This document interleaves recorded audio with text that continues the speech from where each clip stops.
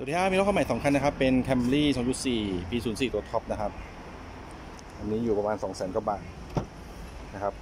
ภายในสวยทุกคันเลยนะภายในสวยทุกจุดเลยนะครับ เป็นตัวท็อปเลยนะตัวนี้ 2.4 minor change แล้วนะครับ minor change แล้วนะครับ มีแอร์หลังเรียบร้อยเบาะเบิกสวยเลยนะนะครับ มีแอร์หลังเรียบร้อย นี่เห็นไหมตัว minor change แล้วด้วยนะครับ ไฟ minor change ทั้งหน้าหลังเลยนะครับ เป็นมันได้เชนแท้นะครับ นะครับรถสวยทั้งคันเลยนะรถสวยเลยนะครับ รุ่นนี้คนนิยมนะ ใช้งานดีนะ คนนิยมนะครับ